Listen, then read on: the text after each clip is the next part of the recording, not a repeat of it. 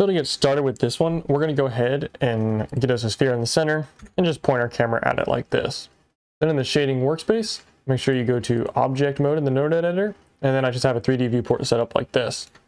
Then if I go to rendered preview, I'm going to be using cycles. You can also use Eevee. There's no displacement affecting in this one, so both work just fine. Then for the lighting, I just unchecked scene world and then selected the built-in forest HDRI that Blender already has. So we'll press new. Then for the material name, I'll just call it sidewalk concrete, just like this. Nice. Then we'll go ahead and enable the Node Wrangler add-on so we have all the shortcuts and everything. So edit preferences, go to add-on, search up the Node Wrangler and check the box there. Then we can press Shift A and we're going to look for a Voronoi texture like this. Then we control shift and left click, we can preview him. Now press control and T, which will give us this mapping and texture coordinate, and then I'll put the object into the mapping. So I'm going to control shift and left click again to preview the color because that's what we're going to be using in this material. I'm just going to grab this and move it over here so we have it out of the way. So this is going to be our mask and we're going to have four layer, layers of uh, bump using these Voronois. And so we'll go ahead and make that right now. So to do that, we'll hit Shift A. We're going to search for math node. I'm going to switch the function on him to greater than. Then we'll control shift and left click to preview him. Then I'm going to take the color from the Voronoi texture into the value, which will give us this. Currently, I'm going to change the threshold to a 1. We'll be changing it in differently on the different levels of detail, but currently we'll leave it like this. Then we're going to take this Voronoi and change the scale to a 200, like so. Then I'll press Shift A. I'm going to search for Mix RGB. I'm going to plug this value from the greater than into the factor. Control Shift and left click to preview. Then I'm going to take this color and I'm going to put it into color 1. And then this black, I'll make it black. Currently, this is what we have here. Super, this is the super fine detail in the concrete but I don't want it to be colors there. I want it to be sort of a noise texture affecting it instead of having it be solid colors, because if we zoom in really closely, we can see that they're solid colors, and that's not exactly what I want to be happening. So I'm going to hit Shift A, and I'm going to search for a noise texture like this. Then we want our vector, so I'm going to press Shift and hold right click, which will give us this extra node, and then we can grab that and move him over here, and then plug him into the vector. Then we Control Shift and left click on this noise texture. I'm going to change the scale to a 20, and the detail to a 10, like this. Then we want it to be affecting where the color is. So then I can just hit Shift A and I'm gonna search for Mix RGB. And then we're gonna have our color go into the factor here and then this factor into here, into color one. Or actually we can put it into color two, why not? Then I'll control shift and left click, change color one to a black. And what this is going to do is it's going to randomize the effect the noise texture is having on different parts based on the color of that individual Voronoi. So then we're going to take this and plug it into color one up here. So now we'll control right click and cut off color two because we want color two to be black. So if we control shift and left click, this looks the exact same as this does. And that's only because this is the first level of detail and it'll be getting taken away as we go. So to make this more uh, compact, I'm going to go ahead and minimize this mix node right here and this noise texture and place it underneath like this. And that's just going to keep everything more organized when we duplicate this.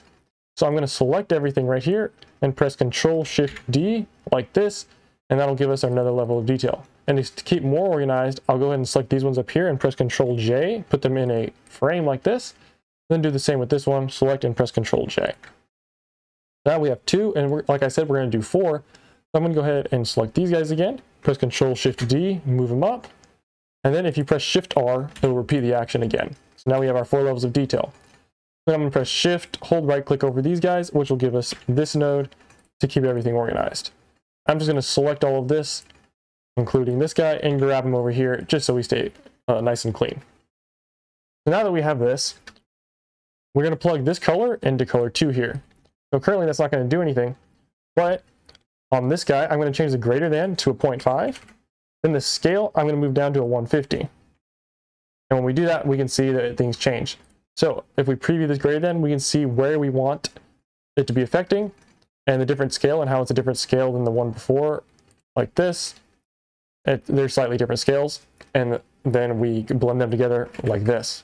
Then up here, we're going to take this value and change 1 divided by 3. Control Shift left click to preview. We're going to take the previous mix node into color 2, like so. And then we'll change this scale to a 100, like this. As we can see, we are slowly I'm uh, getting more variation and getting more of an organic look in our cement like it was actually poured instead of someone smoothed it out perfectly and it literally was poured yesterday and smoothed yesterday or something. Then we'll control shift left click this top guy. I'm going to switch the scale on him to a 50. This is going to be our bigger one. Then the threshold, I'm going to bring down to a 0.15. So we don't want it to be affecting a quarter. I just want it to be affecting a little bit. Then we'll take this color into color two, like this. Now, this is what we wanted to see here. Everything's being affected quite nicely. And we have our different levels of detail and it's looking quite good. The reason we didn't put this at 0.25 as a quarter because I think it's a little bit much. I like it to where it's at a 0.15 and it sort of pops a little bit more that way in my opinion instead of looking uh, too organized. Anyways, we're going to factor this into our bump now. So I'll press Shift A, search for a bump node, grab our color into the height here, then take this normal into our bump normal. Now we can Control Shift and left click the shader. And we currently have this. I think it's a little bit too strong, so I'm going to bring this down to a 0.5 just so that it's only affecting half in that way. So now we're going to bring it into our roughness. I'll press Shift A, search for a range, map range node like this. Take this color into our value, Control Shift left click preview, and we want our minimum roughness to be like a 0.6 because this isn't very reflective at all. And then the max will be a will be a whole one, just like that. Then we're going to take that result into the roughness here. So if we Control Shift and left click to preview, we can see what we have going on. Now it's time for color. And to do that, I'm going to hit Shift A. I'm going to search for a mix RGB node. I'm also going to switch for search for an invert node so that we can get some more contrast in these. So I'll take this color into the invert and the invert into the factor of our mix RGB. Now I'll preview the mix RGB with Control Shift and left click. Then the hex value for this color one is going to be the lighter color of the concrete. It's going to be an F0E8D8. Again, that is an F0E8D8, just like that. Then this color 2 is going to be the darker one. It is a 554E42. Again, that is a 554E42, just like that. So now we have the base color. But obviously we want to make adjustments to this further, so we'll hit Shift A and search for a hue saturation node that comes after it, so we can adjust the values as a whole without changing the individual colors. Then I'll Shift A search for a brightness contrast node as well, so that we can adjust the contrast, things like that. Then I'll plug that into our base color. Now if we control shift and left click this principled shader, we can adjust some things. So currently we have sort of, this is a little bit dirty. Um, it looks pretty good though for sidewalk concrete. So some of us may want to brighten it up a bit a little. So I'm going to bring the value up to a 2 like this. That's going to brighten things up. And I'm also going to desaturate it slightly, bring it down to like maybe a 0.7. And then that's starting to look quite a bit like sidewalk concrete.